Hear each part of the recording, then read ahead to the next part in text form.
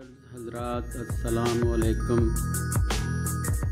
آج کا موضوع شروع کرنے سے پہلے ہمارے چینل کو سبسکرائب کر لیں اور بیل آئیکن کو دبا دیں تاکہ ہماری ہر آنے والی نئی ویڈیوز آپ تک آسانی سے پہنچ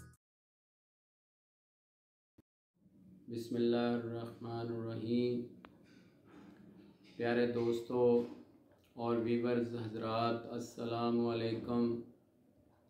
آج ہم آپ کے سامنے ایک مدعا بیان کر رہے ہیں، جس میں ہمارے پاس ایک موضوع ہے، بوتل اور اس کے نقصانات یعنی سوڈا واٹر اور اس کے نقصانات۔ آج اس کا مطلب یہ ہوا کہ ہم سوڈا واٹر کے نقصانات بیان کریں گے۔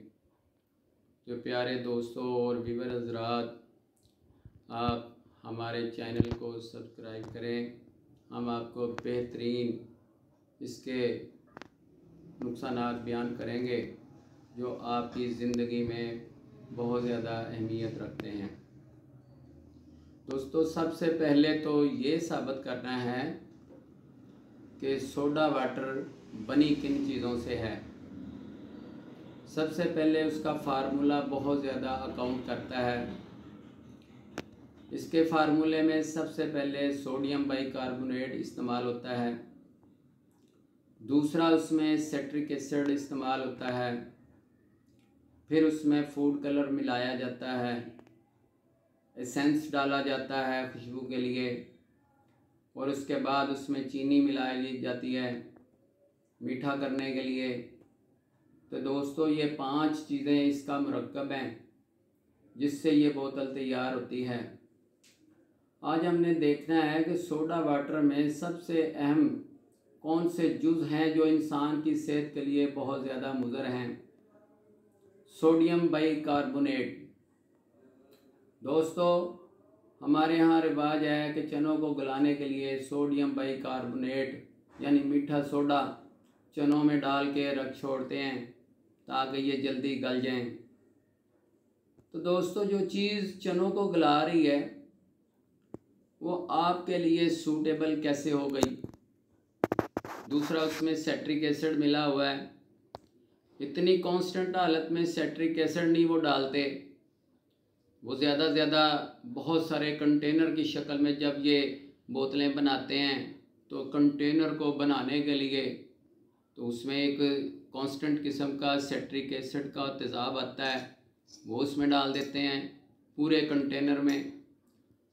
تو دوستو، اس میں سیٹرک ایسڈ ایسڈ کا لفظ جو ہے نا، آپ نے سنا تو ہوگا۔ لیکن آپ نے زندگی میں استعمال بھی کیا ہوگا تو یہ کاٹ دیتا ہے، نقصان بہت زیادہ کرتا ہے، جلا دیتا ہے۔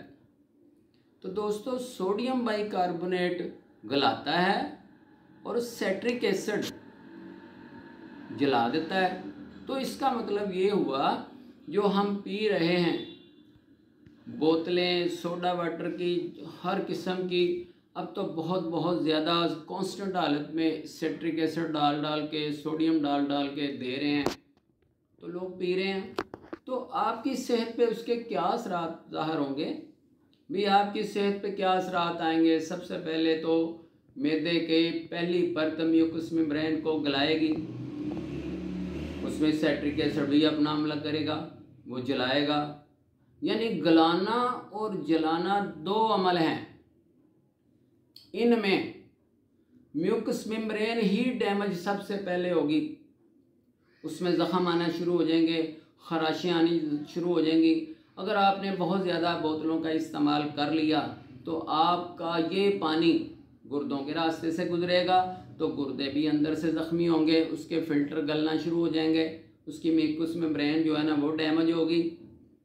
اگر آپ اسی طرح یہ کھانے کے دورانیہ میں استعمال کریں گے تو وہ آپ کے کھانے کو گلائے گا ضرور، لیکن ساتھ ساتھ جگر کی نالیوں میں زخم پیدا کرے گا۔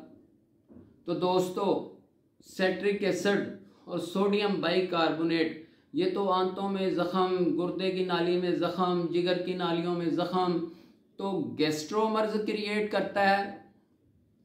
اس کی کنڈیشن تو اب بہت زیادہ لانگ ٹائم کے لیے لوگوں کو تکلیف دے رہی ہے۔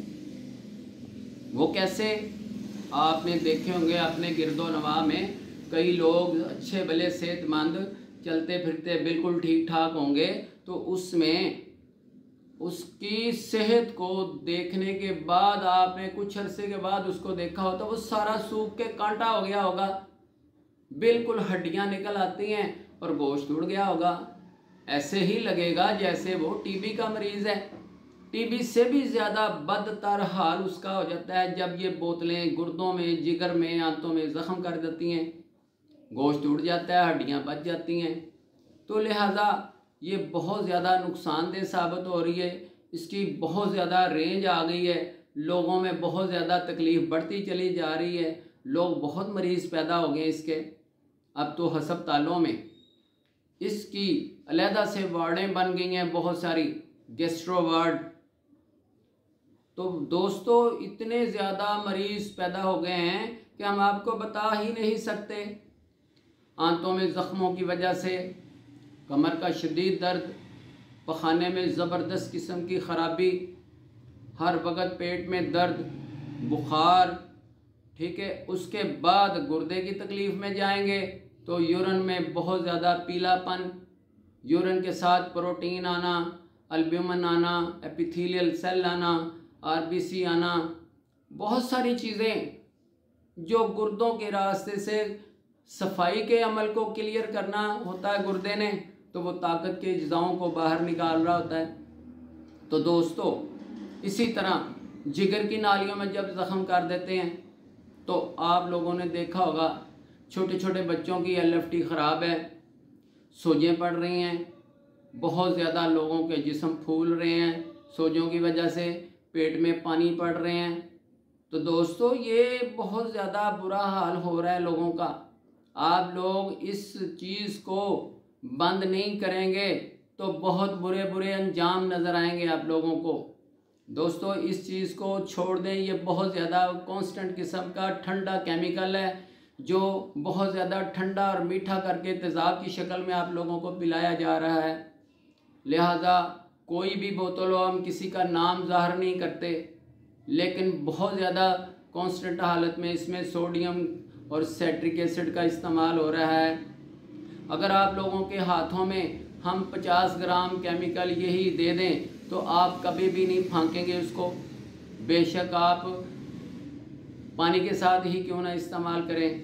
لیکن جب آپ کے سامنے لیکوڈ حالت میں بوتل کی شکل میں پیش کیا جاتا ہے، تو بڑے شوق سے پیتے ہیں۔ تو دوستو، اس برے اثرات سے بچیں، اپنی نسل کو خراب ہونے سے بچائیں۔ اللہ تعالیٰ آپ لوگوں کی صحتوں کو قائم رکھے۔ آپ لوگ ہمیشہ صحت مند رہیں۔ تو دوستو، اس بوتل سے نجات حاصل کریں۔ اللہ آپ کا نگہبان، خدا حافظ۔